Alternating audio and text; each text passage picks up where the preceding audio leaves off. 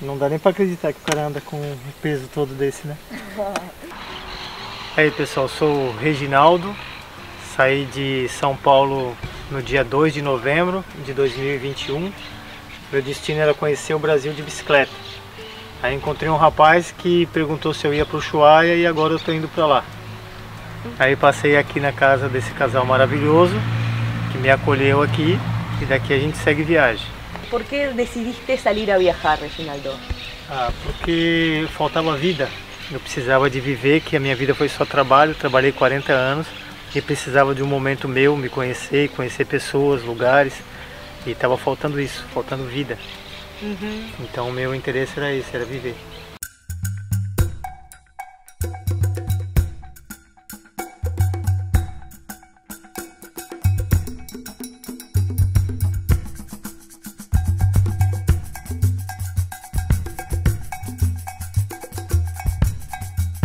¿Qué dice tu familia, qué dicen tus amigos, tus amigas de esta forma de vida que elegiste? Ah, como sempre, acham que a gente é louco. né? Todos falam que é, você é louco, você fazer um negócio desse, mas depois que você está viajando, eles te apoiam. Vê que é muito melhor do que imagina. E como a gente é muito bem recebido, então eles ficam até fascinados com a facilidade de como tem gente boa. Né? Porque quando a gente está na cidade, você só tem ideia de que existe pessoas ruins, mas não sabe o quanto tem de gente boa. Porque durante toda essa viagem aí sempre fui muito bem recebido. né? As pessoas acolhem a gente de uma maneira que é até difícil de falar. Você não, não acredita quando você está dentro da sua casa, né? Que você vai ser acolhido de uma forma tão especial. ¿Qué, ¿Qué es lo que más te gusta de esta forma de vivir? Que você nunca sabe o que vai acontecer. Cada dia é único. Você nunca sabe o que onde vai dormir, o como vai dormir, aonde vai ficar. O inesperado, eu acho que é o, gostoso da viagem. Você não saber o que vai acontecer. Y si quieren seguir tu viaje, ¿cómo pueden hacer?